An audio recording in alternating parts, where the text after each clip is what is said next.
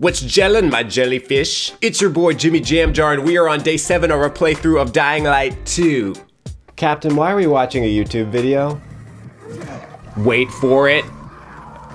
As always, a big thanks to my sponsor, J Nourishment Energy Drinks. Wait for it. Ah. Use my code JimmyJamjar at jnourishment.com slash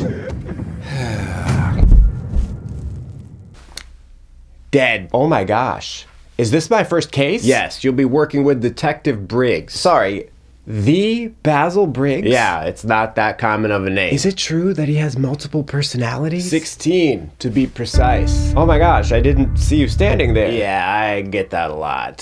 What's your name? Put her there. Detective Magnolia Myers. Stay out of my way on this case and we'll be fine. But I'm gonna need you to step up and pull your weight. And try to have fun. Okay. The lieutenant's down at the crime scene. He can fill you in. Use my code JimmyJamjar at jnourishment.com slash 3 million views before YouTube took it down. Bitter almonds. Cyanide. How do you know that? Well, I watched a lot of Murder She Wrote. Classic, classic show. They just don't make them like that anymore. so we've clearly got a homicide on our hands. Okay, wait a freaking second. He's dead. Who uploaded the video, huh? His ghost?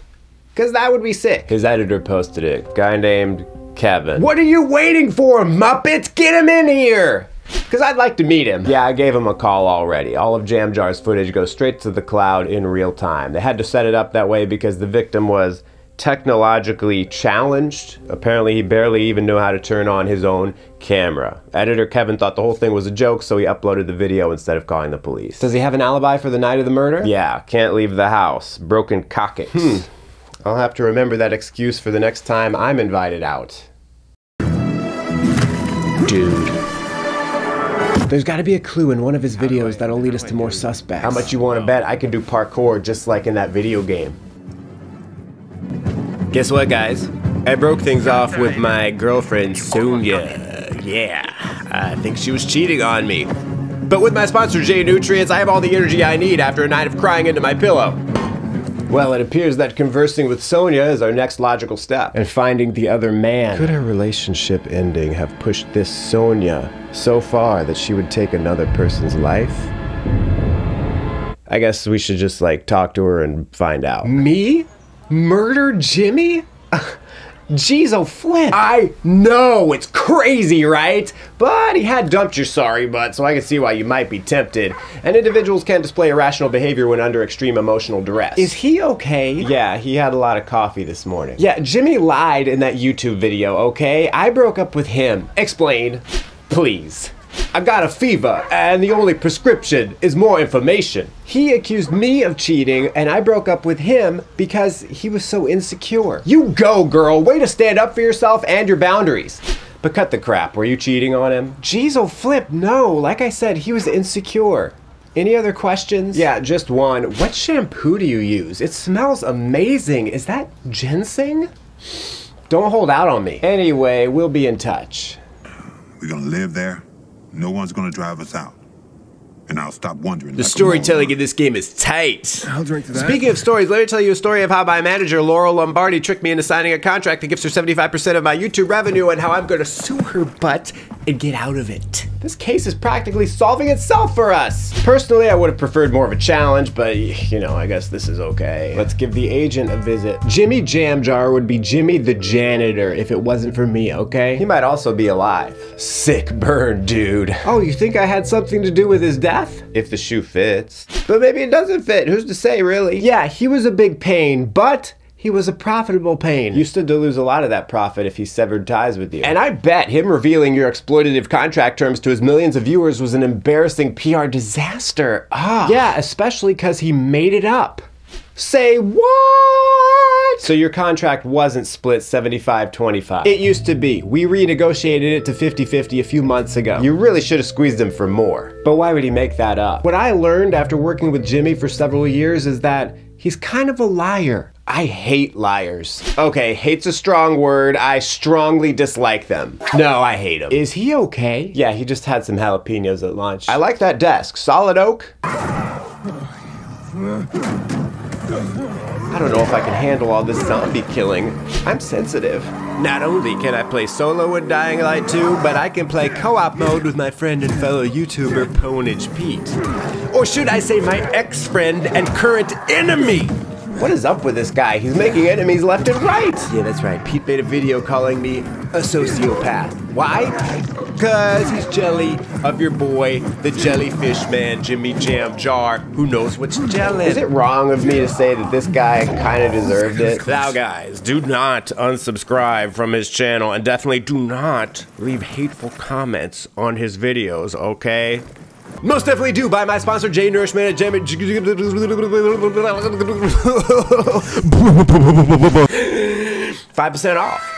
Let's go chat with Pwnage Pete. Do we really gotta talk to him? Maybe we can just like email him some questions? Or let's just go right now.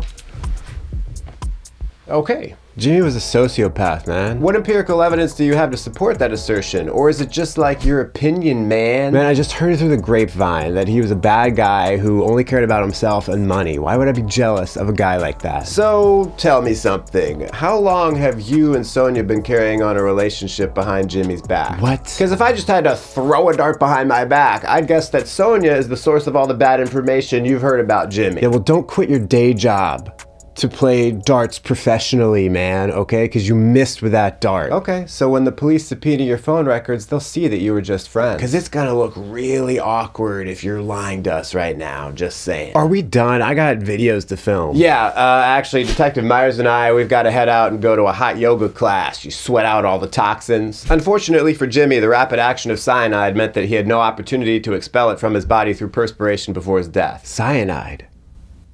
Is that what killed him? You think he's lying? Oh, I know he's lying. Constricted pupils, shaky voice, fidgety. But even more damning, I could smell that delicious ginseng shampoo. It's hard to say.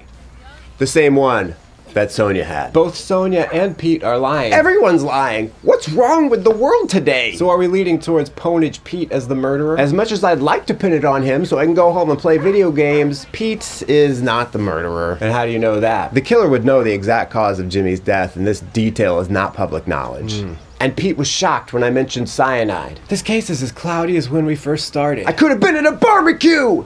Wait a second. Cloudy. That's it! Thanks for coming in, guys. I really appreciate it. Can I get you anything? Coffee, tea, donuts? What's this all about? One of you is a murderer. Okay, what? Jeez, oh flip. Do I need my lawyer? Please, no. This scene is already way too complicated to film. Okay, I admit it. Sonia and I were in a relationship behind Jimmy's back. Shut up, Pete. Jeez, oh flip. But I didn't kill him. You stole my thunder, brah. I was gonna reveal that information myself. But you probably said it better than I could anyway. Like, it, it's fine. Don't worry about it. Pete wanted Sonia all to himself, so he killed Jimmy. Um, no, I wouldn't kill anyone, man. I'm, I'm vegan. That's enough. Shut it down. Okay, so Sonia, we know that you and Pete were talking, okay? Okay, I admit it. It was wrong of me, but Jimmy and I were on the outs, and despite what he claimed, I broke up with him. Don't lie to me, sister. It's he said, she said. Jimmy was a liar. You can't trust anything he said, especially on camera. Indeed, it is intriguing that you would bring that to our attention. We talked to Jimmy's editor, Kevin. So he says, he says, all of Jimmy's footage was being uploaded to the cloud in real time because Jimmy ain't no tech whiz. In fact, Jimmy sometimes accidentally left the camera on all the time. His editor, Kevin, who's a great guy, wonderful person, he was so nice. He gave us all the footage for the week before Jimmy took the room temperature challenge. Guess what, Sonia? I'm through. I, we're done. No, no second chances. I have had enough.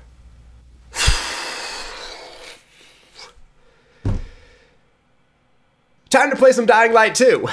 Looks like you were lying again, honey boo boo. I wouldn't kill him over a breakup. Good point. You were already in a relationship with this scrub. Doesn't really seem like enough motive to kill the ex scrub. Uh, why am I here? I got stuff to do. Correct me if I'm wrong, which happens a lot, but you said that you and Jimmy renegotiated your contract to be 50 50, right? Yes. But Jimmy claimed in his video he was only getting 25%. He was lying. Were you two physically in the same vicinity for the signing of the contract? No, it was electronic. Please tell me. Please tell me you at least negotiated negotiated over the phone. No, it was all email. That's just how we do business these days. My hypothesis, which I am confident is correct, is that Miss Lombardi was negotiating not with Jimmy, but with his girlfriend, Sonia. Jeez, oh flip, what are you even talking about? Sonia, you were using Jimmy's email account without his knowledge. Which was easy because he was an oblivious idiot. Oh my gosh, and she also added a second bank account so I could split the payments in two. Sonia was stealing half of Jimmy's money and he didn't even notice. So when Jimmy dumped your butt, you were in a real uncomfy situation, weren't you? because Jimmy was gonna sue his agent Ms. Lombardi, which would have immediately exposed your scheme, Sonia. But if you were to kill him, you could still make at least a little profit from his channel for a while. Until the YouTube algorithm, much like the Gravedigger will soon do to him,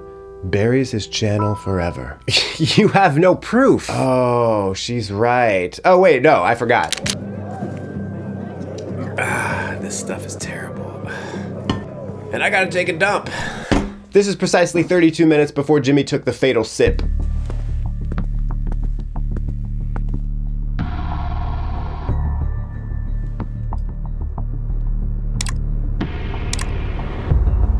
Okay, the face is all covered up. You can't prove that's me. Jeez, oh flip. Wait for it. Jeez, oh flip, his desk is a mess. Wow. Pretty serious stuff, huh? Sonia, you killed Jimmy? I want my lawyer. Book 'em Danno. I know, I know your name's not Dan, I'll just roll with it. You have the right to remain silent. Anything you say can and will be used against you in a court of law. You know, Magnolia, after a long day of sleuthing, it's nice to kick back and play some Dying Light 2. Stay human. J Nourishment was a fictional sponsor. Dying Light 2 by Techland is the actual sponsor of this video that you are watching. In fact, this fantastic game is celebrating its first anniversary right now. Yay! Get it for up to 50% off until February 13th. Check it out right now at my link below. They say a stranger's come to